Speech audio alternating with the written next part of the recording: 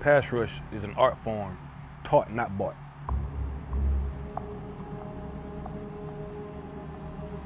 A strip sack is devastation. Robert Mathis got him again. That's Mathis. The Colts have the football. It's a drive killer, momentum killer. The ball is knocked away again. There's a science behind it. See ball, get ball. The ball is stripped. If I can take the football from your quarterback and give it to my quarterback, we can steal an extra series or two. I'm Robert Mathis, quarterback hater, Super Bowl champion, NFL strip sacks and forced fumbles leader. Ball is batted up in the air. Robert Mathis. And these are the secrets to the strip sack. Getting some pressure, batted away and knocked out of his hands by Mathis. Robert Mathis with a sack, knocked it out of his hands. The key element is not missing. it starts with film study. You have to know the animal that you're hunting. Is the quarterback left-handed? Is he right-handed? Where's his favorite escape route? Does he hold the ball with two hands? Does he hold it with one hand? Where's he looking? Is he looking down the field? Or is he looking at Freeney over his shoulder or Robert coming from the front side? These are the things that we watch on film. What kind of tail? The quarterback likes to find a tail on defense. We like to do the same in the art of pass rush. Pressure coming, he gets hit. The ball's loose. The Colts have it. The Colts have it. It is Robert Mathis with another strip sack. When I'm in my stance, I'm burning a hole through the offensive lineman's outside knee.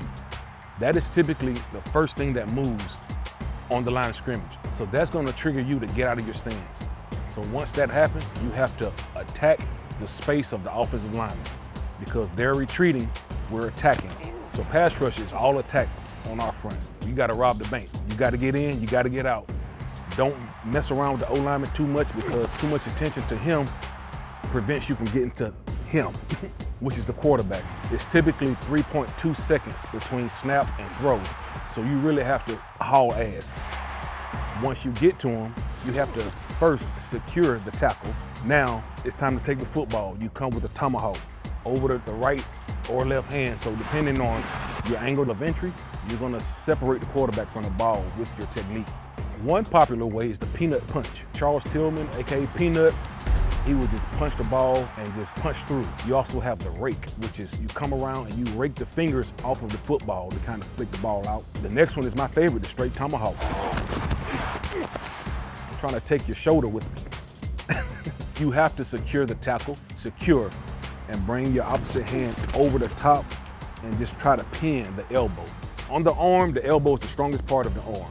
If you can get that, you can have all this right here. So he's gonna let the ball go once you bring enough force over that elbow. He's hit. The ball is loose and knocked out of his hands by Mathis. More times than not, I really never notice when the ball is out. You have to depend on your teammates. Hand-to-hand combat, footwork, alignment, assignment, key technique, and get to the football. And who has the football? The quarterback. Batted away and knocked out of his hands by Mathis. And those are the secrets of the strip sack.